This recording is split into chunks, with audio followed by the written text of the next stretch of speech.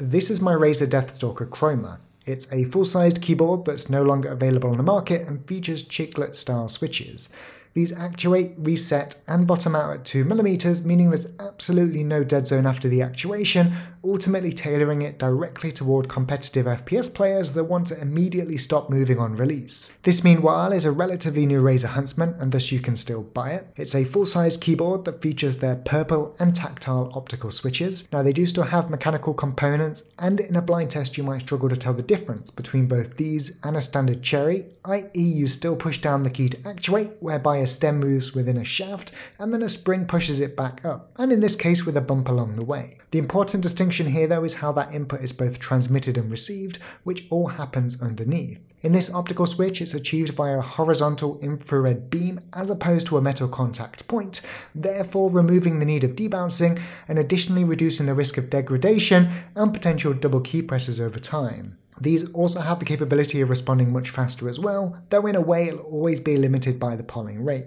These purple switches actuate and reset at 1.5mm compared to a traditional Cherries 2, whilst bottoming out at 3.5 as opposed to 4. A metal stabilizer on each key is certainly a welcomed addition as well as it helps reduce chatter and keeps that key steady on its way down. Finally, this is their brand new Razer Huntsman Tournament Edition, a TKL variant that simultaneously introduces their red and now linear optical switch. These reduce actuation and reset yet again to an incredibly fast 1mm, whilst retaining the 3.5mm key depth of the purple variant. Now, many of you watching probably think the difference between linear and tactile is purely personal preference, and in fact, many of you might even take the time to argue about it in the comment section below, I'm sure. However, I'm here to tell you that you're categorically wrong Linear is the absolute best for FPS games, period.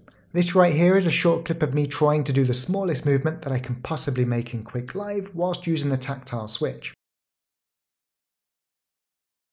And this is me trying to do the same thing again on this new red linear variant.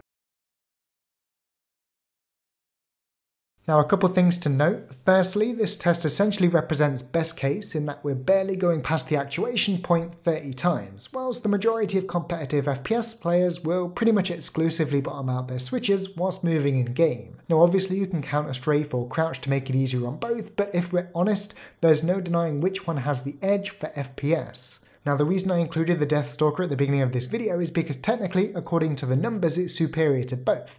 However, it's really inconsistent to make a small adjustments, and even though you can technically make the smallest adjustment with it, more often than not you end up overshooting a significant amount. So with that said, my weapon of choice moving forward is that Huntsman Tournament Edition with red and linear optical switches. First, I must say that I absolutely love the aesthetics of this keyboard, and I'm quite jealous of Viper users that can already pair it with a mouse, and that's whilst I anxiously wait for a new version of the DeathAdder. Dimensions are up on the screen now, but the important feature here are those two feet at the back, additionally offering 6 or 9 degrees of tilt, and ensuring you'll have no problem with clearance for the most sensible monitor stands, and that means if you prefer to rotate your keyboard at an angle, you're covered there. Smaller form factor also means no matter where you're at, be that at home or an event, space should never be an issue. That said, it is taking my brain a little while to adjust to the fact there is no number pad there, and I'm still moving my keyboard to the left every time I die in game. My favourite feature of this board though, beside those switches, are the raised keys and their respective double shot PBT keycaps. Essentially makes cleaning an absolute breeze. That and the fact its 1.8 meter USB Type-C cable is removable is definitely a nice touch too. Now it does have a proprietary connector to keep it steady, but Razer have left ample space that you could use any other cable in its place if wanted, such as this IKEA one. Synapse 3.0 returns, but it does look to support onboard profiles, and you can obviously cycle through a bunch of lighting options, additionally synchronizing them to your other Razer peripherals. Generally though, there's nothing here to complain about, especially in terms of functionality, and it also offers a second layer of keys through Razer's Hypershift feature. So final thoughts? Well, if you don't mind the noise, considering it is quite a loud keyboard,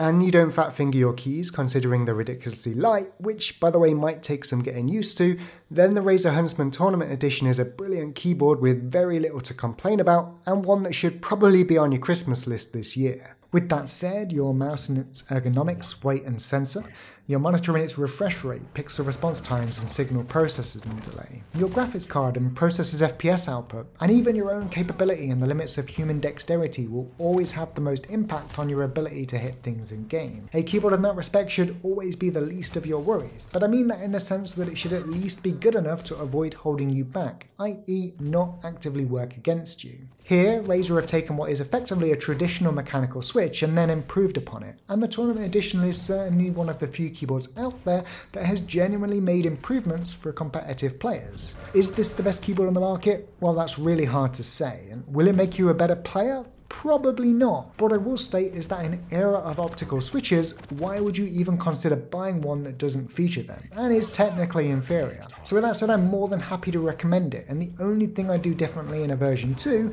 would be to introduce the circular volume dial found on the Huntsman Elite, and this is because I still value the ability to quickly change volume in a clutch situation though it is still possible to do through function keys and some repetition. Anyway, I hope you've enjoyed the video. Thanks to the UK Razer team for sending this out, and if you have any questions or comments then make sure you do let me know down below and I'll get back to you.